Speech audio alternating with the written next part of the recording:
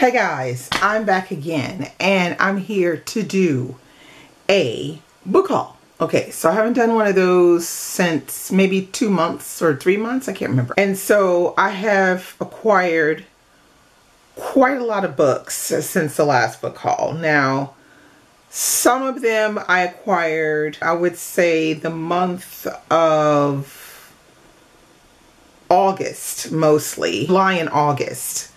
And then I went to the Festival America, which was this past weekend, uh, the weekend of the 23rd, the 24th, 25th in, in Vincennes, uh, which is south of Paris. So I went for that one and I acquired more.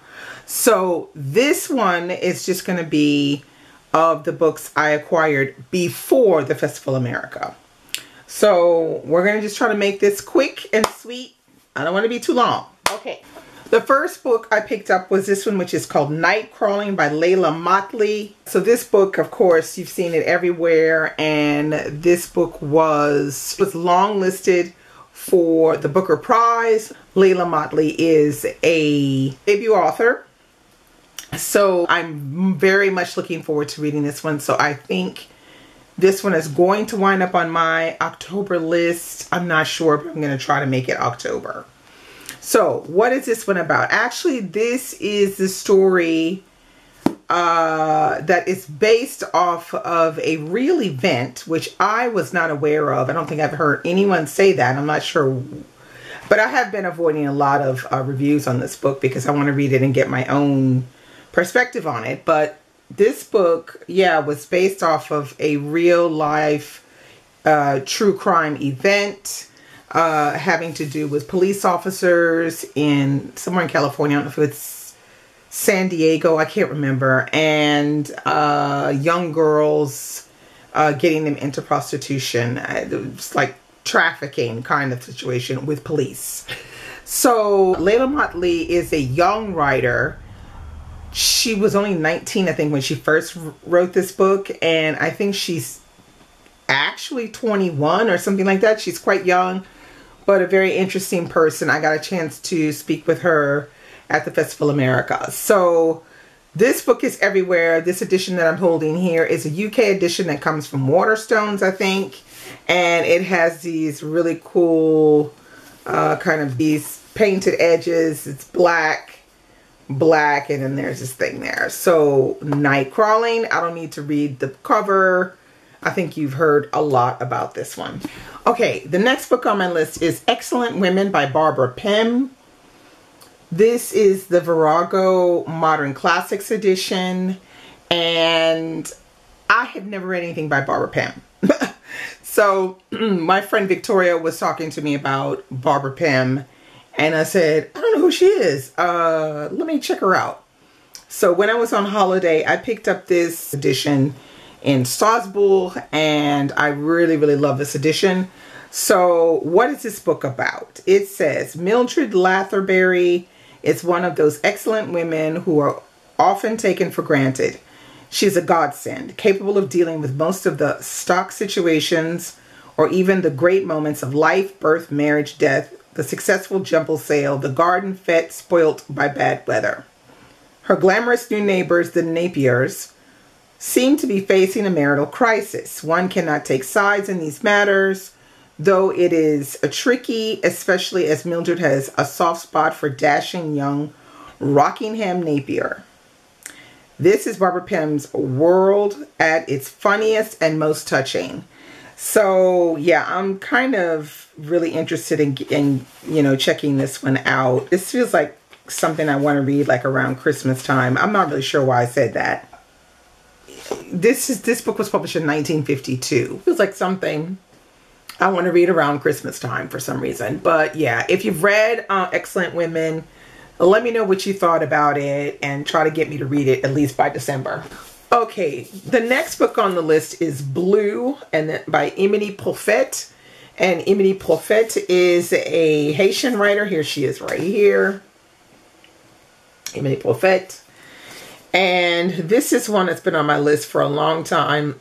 and I decided to pick this one up. It says on the inner cover here, this is a translation from French. So it says, airports are distillations of the world. I like thinking of them that way. The hope of leaving and the desire to come home existing side by side. Any voyage is possible. My mind flies off toward the blue province once again. I don't know anymore why I always associate it with blue. It isn't even my favorite color. So that's just like a little passage, and I feel like that is a very uh, enticing uh, entrance into this book. Reading that on the side cover without actually reading uh, the, you know, a little bit of the summary. I didn't read the summary. I just read one little passage that was at the top here, uh, talking about like a passage from the book. And I think that is very intriguing, at least it was to me. Okay, the next book on my list is The Furrows by uh, Namwali Serpell. And Namwali Serpell wrote The Old Drift, which we read a few summers ago for the Read Soul Lit Summer Read Along. And this is her second book, which is called The Furrows. I have no idea what this book is about. I don't really care what it's about. I loved uh, The Old Drift so much. I was like, I just don't care. I'm picking up the book, supporting this author, and we'll just see what this book is about later. But just to give you an idea, it says Cassandra Williams is 12. Her little brother Wayne is 7. One day when they're alone together, there is an accident and Wayne is lost forever. Though his body is never recovered, their mother can't stop searching. The missing boy cleaves the family with doubt. How do you grieve an absence and how does it feel? Okay, that's all I'm going to read. Stunning cover. Uh, just, I'm all here for this one. I can't wait to get to it. Okay, the next, next books I'm going to talk about, and I'm just going to briefly mention them. So I picked up Nana, which is book nine in the Rougon-Macquart series, which I'm currently reading right now. And then I have, I think it's in this order, Pot-Bouille, which is the next one. Au Bonheur des Dames, which is the next one. And La Joie de Vivre.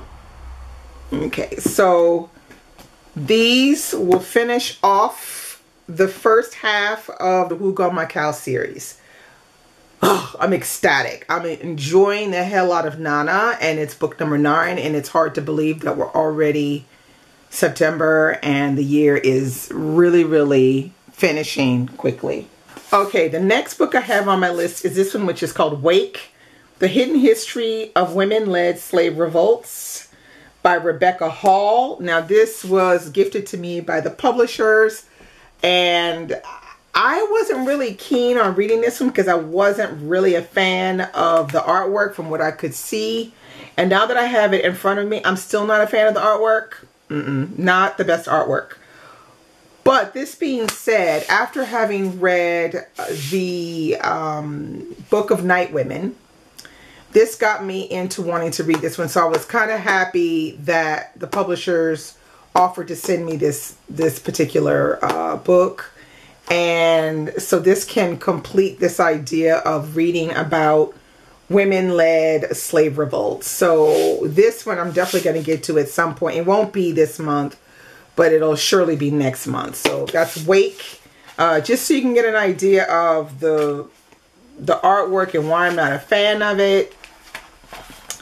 Okay, so you see it looks like this. Uh, I, I don't really appreciate uh, how the faces have been drawn in this this particular graphic novel.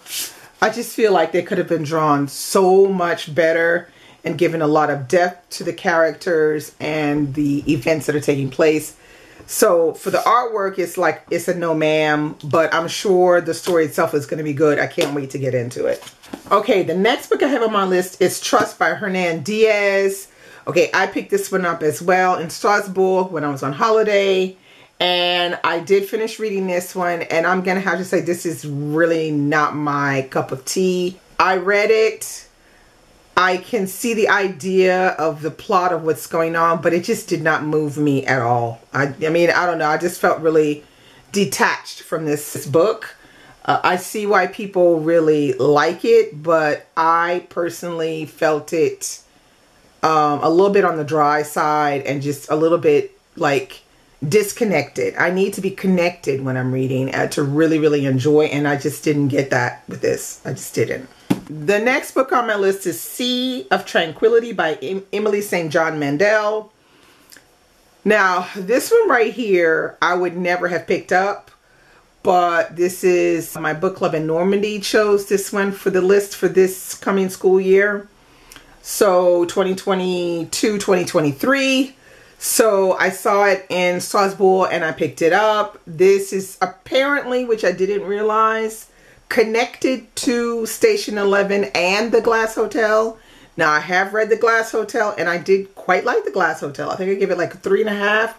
I quite enjoyed it. So this is Sea of Tranquility and it says, in 1912, 18-year-old Edwin St. Andrew crosses the Atlantic, exiled from English polite society in British Columbia. He enters the forest spellbound by the beauty of the Canadian wilderness, and for a split second, all is, is darkness, the notes of a violin echoing unnaturally through the air. The experience shocks him to his core. Two centuries later, Olive Llewellyn, a famous writer, is traveling all over Earth, far away from her home in the Second Moon Colony. Within the text of Olive's best selling novel lies a strange passage. A man plays his violin for change in the echoing corridor of an airship terminal as the trees of a forest rise around him. Okay, so I'm just going to stop there. Uh, you can see that there's a connection with Station 11. The Glass Hotel, I'm not sure what the connection is. But, so this is what we're going to be reading. It's, a, it's like a sci-fi kind of situation. Not really my cup of tea, so I don't really know. I I'm thinking, I'm to be positive. I'm thinking I'm to like it. I don't know. Okay, next on my list, I have Glory by No Violet Bulawayo. Okay, so I picked this up in Strasbourg as well. This is a book that I've been waiting for for a while now, which is the second book from No Violet Bulawayo. Her first book was We Need New Names, which I did enjoy. I gave it about three stars. I enjoyed the first half more than the second half. I think you can look, uh, if I can find it, I'll link the the review that I did of We Need New Names. So this is Glory, which people are liking to Animal Farm by George Orwell because it has animals, you know, with human-like characteristics.